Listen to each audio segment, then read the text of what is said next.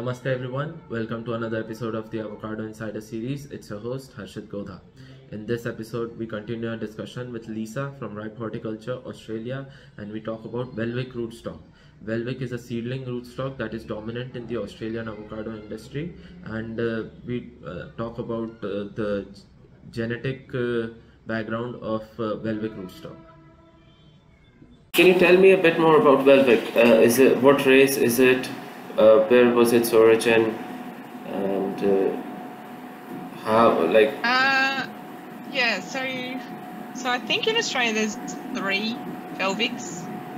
So there's three clones, three different clones. So you have to be a little bit careful what you're Yeah. getting. okay, Um, two are considered like, the best, and then one is um, But then why are they named. All Velvick? Like, it should be a bit different, don't you think? The name, Yeah, well, name. when they're written on paper, they, they've got the little brackets with the name Okay, next to them. When, in Yeah. any research paper, it'll be Yeah, identified. okay. But when people ring up or order trees, it's just Velvick. Velvick Okay. Velvick. A lot of people don't really get down into that nitty gritty. Um, and even if you wanted a certain type of Velvick, you probably can't get it. So it's really just. I mean, that they're all three are still better than a lot of the others. So all Yeah. three of them are still good.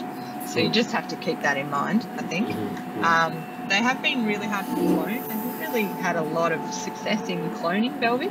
Yeah, So it is all still seeded, and there is also this sort of second generation seed going around as well. okay. So people are selling that as Velvick seed, maybe not disclosing that as well, or Yeah. maybe they are, and people just choose to pick that because it's cheaper or Yeah. um, available or whatever. Because it Mm. is a little bit harder to get yeah, the, the true true Velvick. yeah. Okay. Yeah, so I think it's a Guatemalan, um, Guatemalan West Indian Okay. breed cross. Mm.